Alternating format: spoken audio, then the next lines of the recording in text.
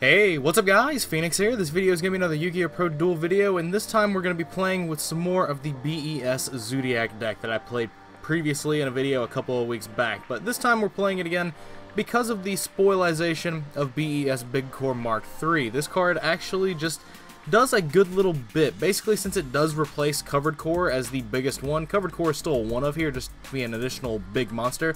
But it also does provide, you know, recursion, allowing you to shuffle back your BES monsters in graveyard, allowing your engine to basically keep moving as long as you want it to be in terms of being a floater engine, as well as the fact that it is basically a Cyber Dragon-like card that can summon itself out of your hand for free, making it bypass the need to have the field spell. There's a lot of different good things that this card actually provides for the deck, for the theme, and it just kind of sucks that it took us literally this long to get finally a good ship, other than something like Tetran, Tetran being, you know, a good form of spell and trap card removal is the only real thing that makes it decent other than all these other ships just being absolutely kind of kind of garbage in terms of how they're just vanillas. But basically, this deck is meant to use your elemental triangles and your Terrortops to use your Zoodiacs to bypass your normal summon and make very, you know, aggressive and defensive play lines. You've got the Daigusto Emeralds in here as well, which also form as a, uh, as a recursion layer for your ships but since we have the Big Core Mark III, they are much less emphasized on being used to put back your ships, thusly they can be used to focus more on the Zoodiac Beast engine until you start running low on Mark III access, if that's even a thing that can happen. But this deck list is very similar to the one I previously played with, and I mean, it should be pretty standard to like understand. You try to use Great Fortress Zelos to make your ships immune to things, and you try to use the Zoodiacs to be aggressive lines, as well as protect your Great Fortress Zelos, but it also, they just allow you to play on your own pace, because you can use Drancia on your turn and your opponent's turn to pop your ships, thus allowing you to float with multiple boss rushes and establish a good bit of advantage in that area as well. So it allows you to play the game on your own pace, slow your opponent down, be defensive lines, be aggressive lines, as well as allow you to trigger your own things, which is all very, very important uh, aspect of this deck. But I'm not going to waste too much more time talking about this. Let's just jump straight into the first game and see how the deck can actually perform with the addition of this new ship that basically so like supports itself essentially. But let's just jump straight in. Alright, so let's see how this goes this time. I've been trying to film this video for the last 45 minutes because I'll get through with a game and then it'll crash in my side decking screen, which is something I'm not too happy about. But we're not on the checkmate server for this one because I'm playing with beta cards in the uh, in the language of Yu-Gi-Oh! Pro. It's a card that is not legal yet. It's not out in the OCG. So ultimately, that's what I'm going to be dealing with today. He let me go first. He won rock, paper, scissors and said you go first. So that's pretty cool. I get to start with Terrortop. I've got Maxx C and I've got Great Fortress Zelos. That's all really good. Um, so I'm going to be able to make Drancia and trigger my own things and get multiple special summons because I'll have double boss rush. That is so cool. Well, I'll just have I'll just have one boss rush. Honestly, um, I don't think it's necessary to have two. I don't want to really waste the cards per se, um, but eh, we'll find out. Uh, but so I'm gonna be able to do this and uh, and see where this goes. But yeah, I'm not playing on the Checkmate server. This is ultimately what I want to use the uh, Patreon Discord uh, like server message things for is that I want to be able to mix it up and do some checkmate ranked, and then when I'm doing videos like this, I'll be able to have access to uh, to you guys to just play matches and play against new things, play against old things. There's there's multitudes of different things that I want to do for the channel, but ultimately we just want to. Uh, we're just gonna have to take it as it comes right now, and that is just playing against randoms and unranked on uh, on Yu-Gi-Oh! Pro because honestly, that's that's all I have access to right now because the Patreon literally just launched like yesterday, and so I don't have nearly anyone, or at this point, at this point, I don't have anyone pledging um, to uh, to do anything basically because I mean it just launched. I mean I'm not expecting anything quickly, and so uh, so there's that. But what I'll be able to do here is I'm summoning the Momorat and uh, so I'll summon Momorat by detaching Momorat, or Marmorat, excuse me. Uh, it's Rat. It's it's Rat. Come on now. Let's let's be real. Let's be real. We all know what it is, what it means. And uh, so Bullhorn here, or not Bullhorn, it is Bullhorn, but now its name is Broad Bull. Man, can't they just keep the names the same? There was no reason to change Bullhorn to Broad Bull. It's so irritating for someone like me who spends literally months knowing these cards as their OCG names, and then they come out, and then it's uh, then it's suddenly just not that name anymore. it's such a problem for me. But so what I'm gonna do is I'm not gonna activate any of these first, right? Uh, because what I want to do is I want to see if I draw into a boss rush or another field spell straight off hand, off the rip, off of this Daigusto Emerald. Because honestly, that would be the better thing for me to have here because if I get another boss rush, basically that's going to allow me to uh, to put double on the board, pop my monster with Drancia, and then summon Tetran and another uh, big core uh, Mark III from my deck. Uh, that's another mole rat, so not really all we're what, not really what we were wanting. Uh, but what we can do is we can do Great Fortress Zelos here and add Boss Rush, and so then I can special my uh, MK3 or my Mark III, and I can special it in attack mode. I could pop it with Drancia if I want to, or I could just put Boss Rush up, and it would just be basically uh, a non-factor. Um, but if I had anyone other than uh, than Mark III here, or Tetran, I would definitely probably be popping it with Drancia just so that I could float into this or Tetran, because th those are what you really want. You want to put Tetran with a counter on it, or you want to put this with counters on it up first. Now the thing is, that I'm going to be able to uh, I'm to be able to put Boss Rush up, and I can play at my own pace on my opponent's turn. That's something I've touched on previously, is that I can use Drancia to pop my stuff on my opponent's turn, and ultimately it's not too big of a factor. But look at how many cards I have. Jesus. Um, this is a pretty damn good board. let's be uh, let's be honest here. It's a pretty damn good board, uh, if I do say so myself. But so I've got Drancia, which I can then protect with Viper. I can protect it with itself. I've got Maxx C. I've got multiple different things that are really good for me right now. Um, in the uh, in the short term, and even in the long term, they're actually really good. Uh, but so I'm going to start holding down A, just so that I don't miss activation windows for Viper or Drancia and then based off what happens is going to be uh, is going to be how things maneuver. Okay, so he's doing that. I'm going to go ahead and activate Maxx C. If he's normal summoning Singing Lanius, that tells me he probably has Fuzzy Lanius, in which case, definitely want a Maxx C here to get that inherent special summon draw. But if he doesn't special summon here, I'm fine with that, because I'm going to be able to use my Drancia in like the end phase to pop my uh, my big core, and then that will allow me to float into Tetrans. Uh, but so from here, I'm not too threatened with whatever exceed he's going to make because he's forced to make, uh, what, Raid Raptors off this now? Yeah, you can only summon Raid Raptors this turn. Uh, so this is Blade Burner Falcon. Um, it has basically no effect. Um, when this card destroys your opponent's monster by battle, you can attach any number and you can destroy that many number. And it's in defense mode, so it doesn't matter. It's a thousand. It doesn't gain 3,000 unless my life is 3,000 higher than his. Yeah, I'm not too worried about this card. I'm not too worried about it at all. Rank up Magic Astral Force, though. He's going to be able to put this into, like, Revolution Falcon? No, no, sir. No, sirree, Bob. We're going to pop that, and that way it goes to grave and your Astral Force does not resolve. That sounds like a much better plan. Um, because it can't physically send it off Astral Force, therefore you do not rank up on top of it. Um, so the Fuzzy Lanius will get its search. That's fine. Um, I mean, I've got Instant Fusion, I've got Dimensional Barrier, I've got way too many things to work with here. And he's got a Fuzzy Lanius that he can't summon. He's got two unknown back row and one card in hand. So okay, I'm I'm fine with this with this juncture of how the how these things have uh, progressed. This is another Great Fortress Zelos, which means I could go ahead and play this on top, or I could play Terraforming just so I deck them um, and get another Boss Rush, and then because of that, I'd be able to uh, have multiples because you do want to cart, you do kind of want to stack these things up, um, if we're being real. And then I can use Emerald after I search for the next boss rush, and uh, and put cards back to uh, to try and draw into another ship, essentially, because that's what I really would like. Is I would like more ships. I want another ship to special summon off of Great Fortress. And if he has something to out the Great Fortress, I've got the last Great Fortress in my hand already, uh, so it's not really that big of an ish. But, so what I've got is I've got the access to the Emerald. Once he gets done thinking about what he wants to do in response to my play, I'm going to go ahead and put, I can put Viper under this um, Drancia just in case I have to chain to something like Fiendish Chain. Um, I mean, I'm thinking Archaic Yu-Gi-Oh, but I'm playing an unranked, so I mean, anything could happen. Legitimately anything can happen when you're playing an unranked Yu-Gi-Oh. But so we'll put those three back.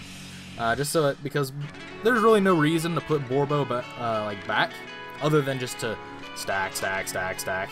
Elemental Triangle. Alright. So that's pretty good. Um, I've got access to the Momorat Grave, though, to summon more from deck. Um, so I don't really have access to more ships, which is a bit of a problematic, like, thing, but honestly, it's fine. It's fine as is. Um, I can summon the Momorat and I can go into another Drancia. That is, uh, that is another option. Um, or I can just play Boss Rush, I can pop my MK3 and start getting things going in my favor. Uh, so what we'll do is we'll play the second Boss Rush, right? And I'll turn the Drancia to attack mode, and from here, what I'll be able to do is I can actually... Can I make another rank 4? If I pop this, get Momorat out of deck? I think I can. Or I can pop Emerald, and get another rank 4. I don't think it really matters, per se, because my rank 4 pool is pretty limited. Uh, but what I can do is I can summon one Momorat from deck off of this, but I have two Momorats here and the Viper here. So yeah, there's nothing else to summon out of deck. Uh, so there's no reason to do that. I could definitely do like instant fusion plays, but eh. There's no reason to overcomplicate this nonsense. So what we're going to do is we're going to attack with this. And if he has something like Storming Mirror Force or something like that, I'm just going to use Drancia to pop my MK3. And then that will allow me to, uh, to do some other stuff. But as it stands, I'm just going to attack for damage, use Drancia as a defensive line. I'm going to start stacking up onto it. What I'm going to do main phase 2 is I'm going to actually, I'm going to use Drancia's effect to pop my big core, and I'm going to stack up on top of it so it have, has a ton more materials. Um, is basically how this is going to work, because I'm 200 off game here, which uh, I probably should have just seen coming if I had just thought, uh, thought to do math, but otherwise... Otherwise, it's fine, because I've got Dimension Barrier, I've got all these cards, and I, I'm not worried about the fact that he has one Fuzzy Lanius, which I can very easily counterbalance and stop. Um, there's there's not anything I'm too worried about here, uh, if we're being completely realistic. But so I'm gonna put every single one of the of the Zoodiac Beast Xyz monsters on top of this, except Tigris. Tigris is specifically the one I'm gonna leave out because Tigris will allow me to make the uh, Momorat rank 4 play again with you know it being out there as well as Instant Fusion being access to Emerald. There's there's multiple factors as to why I'm doing this the way I'm doing it. But so I'm gonna be capable. Of, I'm gonna be able to go into Drancia again. So like that'll be oh Jesus really torrential here. Okay. Uh, well this doesn't die, and so now I have room for Instant Fusion. So I will Instant Fusion, and I'm gonna do the exact same play again anyway. Okay. cool. Um, uh, so this will happen. This will bring back my... Uh, I can bring back Momorat, which could summon the other one from deck, but it doesn't really matter. Because uh, I'm just going to make Emerald, reset my resource pool, and then Elemental Triangle into what I want to element into what I want to do. So, like, it's... It is so easy. Um, because I'm going to put back the Momorat, and I've got the one in hand, and this should be fine. Emerald, and there's nothing else that matters here, right? Because I've got Tigris, I've got I've got Tigris, I've got Broad and I've got Drancia. Um, I think the Wild Bow might matter, so I'll just put it back in case it does, uh, just for numbers. Uh, for numbers of summons, because I've got Tigris, I've got Drancia, I've got Broad I've got that. Um, so, like, that that should make it pretty easy to deal with. And so now I can use my Elemental Triangle to pop my uh, my big core and summon the uh, the Momorat from my deck. So this is this is all just coming up swimmingly. Like this this synergizes very well, and the Zoodiac engine just synergizes with like everything. It's it's ridiculous. It's ridiculous how much it just synergizes, but I mean whatever. it's literally whatever at this point uh, because of how how it functions. Oh, why did I even put back the uh, why did I even put back the uh, the the wild boar thing, the broad boar, or not what is it? Boarbow? That one. Why did I even put that back when uh, when I'd already Xyz summoned it this turn with its uh, with its put it on top of one um, effect? Don't quite know that one myself. But so what we'll do is we'll attach this. We'll summon the Momorat from uh, from deck, and then I'll be able to put Drancia on top of this, attach, summon the Momorat from hand, and make uh, another Daigusto Emerald if I so feel like. Uh, if I so feel like doing. Uh, and then I'll be able to uh, summon two uh, machines out of my deck in the end phase off of the uh, off of the boss rushes. So this is all just really, really good. This is almost borderline ridiculous. The fact that I just ha have this much recursion. I'm to make another Emerald here. Um, even though I run the risk of losing my infinite resource pool, uh, it just seems really strong to do so. So we will do so. Uh, but so we'll put back this, this, and the Viper. Uh, just so that I have access into more things, basically. That's all we're looking for, is access into more things. That's all we want. Uh, Dimensional Barrier Calling Xyz is a very strong option. That's terraforming. I don't have any more Great Fortress Zeloses, so that's a little bit of an ish. But it's fine, because we'll be able to use the boss rushes to summon the Tetran in defense mode, which will gain a counter. Uh, so this is a form of spell and trap removal next turn. And I actually might just get a second Tetran. Um, just because if he sets more cards, I want to be able to have access to dealing with those cards. So yeah, double Tetran seems fine. Now, I honestly wish I had room in my extra deck for at least one rank 6. I could probably get away with cutting the uh, the Dweller, um, and that would uh, that would free up room for one rank 6. And that would probably just be what we would need to uh, to like make this deck like have a good presence with what you do with the Tetrans. Because you do like to float down into Tetrans a lot, or at least I say you, I mean me. I really like floating down into Tetrans uh, because of what it allows you to do. It allows you to pop, um, it allows you to pop uh, spells and traps. So that's really kind of important. Um, is the fact that it allows you to do that because it's a spell and trap card removal. It's easy. It's easy to understand. It's spell and trap card removal. Um, which, I mean, you have removal of monsters in the form of Drancia, and you have removal of uh, spells and traps with your Tetrans. So it's it's a very, very, like, synergistic little interaction. Uh, but so will Dimensional Barrier Calling Xyz here, uh, just because I'm an asshole, and so that's what I kind of feel like doing. I feel like beating people. I feel like bullying people when they're down. Now the Drancia is turned off, so that's a little bit of a problem, but at the same time his entire deck doesn't have a win condition. So, request a rematch. What? I thought I hosted in match format. I could have sworn I hosted in match format. So hopefully he accepts the rematch, because I would love to keep this video streamlined, but if he doesn't, damn it, he didn't. I was wondering why it was like so easy to get a person to accept to my uh, to my host. I thought it was just like ridiculous. Is this the, is this the same person? I don't even know. I know I've played somebody by this name at least once today. So it could very well just be the same person, but we'll find out. So I'm gonna, he, he won rock, paper, scissors and he told me to go first, and that's what the person that I played previously in this video did, so I guess we will, uh, we'll see. I guess I'll find out when I edit the video if it's the same person or not, but uh, the previous person I played did not accept the rematch, which is insane. I could have sworn I set up my host under match format, uh, pretenses. And so I did think it was really weird when I got a uh, an, a person to uh, accept my host so quickly, because usually people are very hesitant to play matches, even in unranked. I don't get it. I don't quite understand. Uh, but I was it was it was weird to me. Let's just say that. And so what I'm doing is I'm doing this um, instead of summoning the Momorat from hand. One because this is more bodies. If I have to tribute summon for one of these, I can tribute for the Tetran over the Invoker and I'll feel like I have lost nothing in terms of uh, in terms of playline.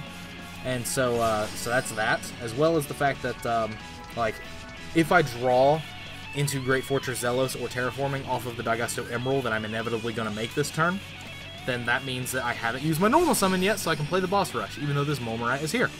So uh, so yeah, we will uh, we'll deal with these in the ways that I see fit. There's at least some thought process behind the shenanigans that I do and uh, and so we'll we'll see how they work. Now, I just I think it's hilarious how Momorat, or excuse me, Marmorat. I think it's hilarious how it just has so much uh, synergies with literally any rank four deck or any deck that wants to make rank fours. If you have seven slots in your extra deck, you can play a Momorat engine because you need the five Zoodiac Beast Xyz monsters to be the most compact package, and then all you need is two Daigusto Emeralds. From there, that's literally all you need. This engine is infinite. All you need from there, if you want to make room for them, is additional rank 4s. That's all you need room for. So it's literally half your extra deck. If you can support half your extra deck being used by these cards, then you can do it. very straightforwardly. But so we're gonna make Emerald here. I'm going to detach the uh, the Momorat from this first. Excuse me? Oh, the Viper's in my hand, that's why. Never mind! So we'll put Drancia on top of this. Uh, I think a second Viper in the main deck might be worthwhile, um, just because sometimes it is hard to add it back. There are certain little nuances of things that can come up, uh, so I don't know. This this entire thing can be tweaked. This entire deck can be increased in count. I mean, there's there's multiple things that can happen. Uh, but so from here, uh, I'm going to go ahead and normal summon this Tetran, because the Invoker has almost no purpose here anymore. The Tetran will gain three counters. It can't die in battle, and it will be removal for spells and traps. That's what we want it to be. I don't have access to Boss Rush, which kind of sucks, but I mean, damn. We will, uh, we will see how it goes. But I've got Maxx C in hand, which is strong. I've got Maxx C backed by Drancia, backed by a Viper that my opponent doesn't know about. Uh, my opponent does not know about this Viper, so that's actually kind of good, kind of important in that like I can just get him out of nowhere with it. Uh, but that almost rarely is never a huge factor. But Viper is definitely one of those cards that could probably just go up in quantity um, in the deck. So we'll uh, we'll see how it goes. But ultimately, I'm not afraid of this if it's still Raid Raptors. We'll find out though, because I don't know if it's the same guy. It is the same guy. It is the same guy. So he is still playing Raid Raptors. So good. That means the video can still technically be a match because if I win this game, that means I won 2 out of 3. Even though there was no side decking involved, the side deck that you saw for this deck in the, uh, in the, basically, I guess I can call it title screen, the deck portion of this video was very generic and very basic anyway, so there's not really a lot that had to be uh, worked with or worried about.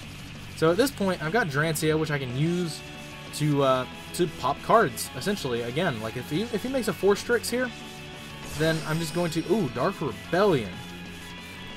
Oh. Oh, Dark Rebellion.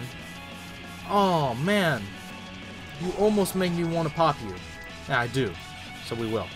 So I'll pop the Dark Rebellion.